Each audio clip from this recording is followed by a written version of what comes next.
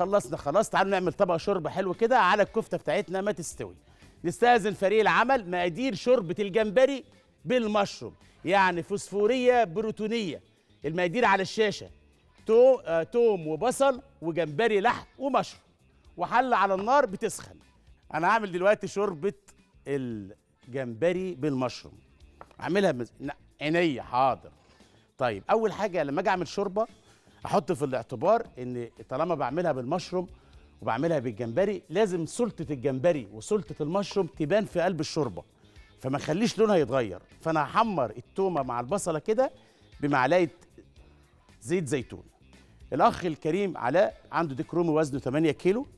هنجيب الديك الرومي ده يا عم علاء نعمل له مساج بمعلقة عسل معلقة قرفة معلقة فلفل أسود معلقة بهار حلو. معلقة فلفلة حلوة. كل دول يتحطوا مع بعض. وما تنساش تحط كمان نص كوب من الزبدة عشان تبقى معاك زي المرهم كده لطيفة. وتمسك ال ال الديك الرومي من بره تدلعه آخر دلع حلو الكلام؟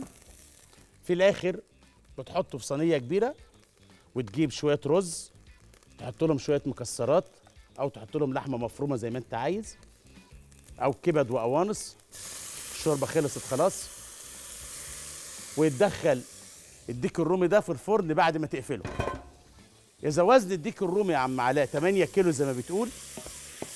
يقعد الديك الرومي في الفرن أربع ساعات أقل حاجة في درجة حرارة 180 اذا وزن الديك الرومي يا عم علاء 5 كيلو يقعد في الفرن ساعتين في درجة حرارة 180 البصلاية بتلف مع الجمبري والتومة أشوحه كده لغاية لما لونه يبقى لون فوسفوري جميل.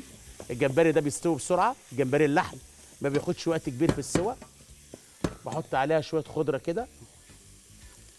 حلو الكلام. وأقلب كده. خلي الحاجة دي هنا وأوسع لنفسي كده بقى عشان الإنتاج بتاعنا.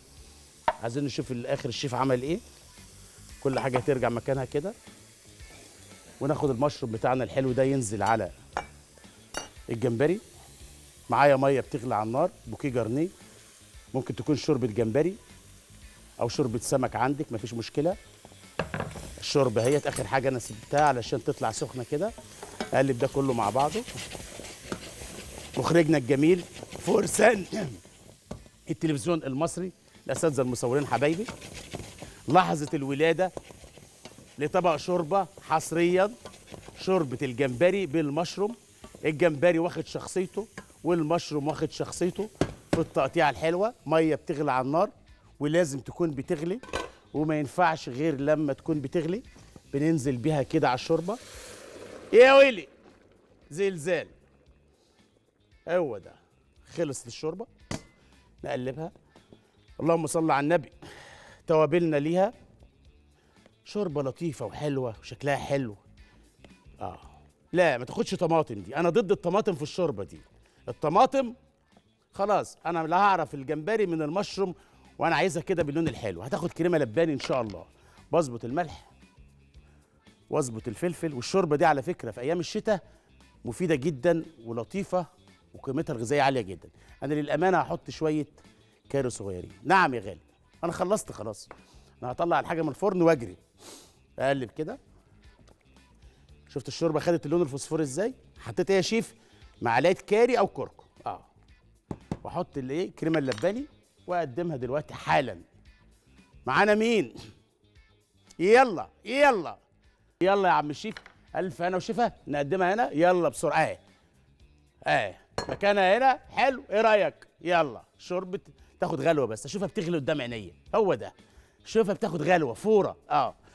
اللهم صل على النبي. يلا. هو ده. إيه الجم... جيب لي الشوربة هنا جيب لي الدلع ده جيب لي الجمبري وهو بيتقلب في قلب الحلة. نعم. يلا حاضر. أنا أستاذن طبعا بعتذر لكل السادة المشاهدين اللي بيتصلوا بينا دلوقتي. اعتذار من القلب ومن فريق العمل بتاعنا الجميل. إن إحنا طبعا وقتنا خلص والناس اللي بتتصل معلش.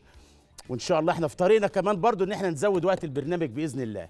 كل حاجة نفسكم فيها نعملها. ناخد الشوربة. ونصلي على الحبيب قلبك يطيب تنزل في قلب الحل في قلب الحل. إيه الحلاوة دي يا عم الشيف؟ هو ده هو ده. هنطلع.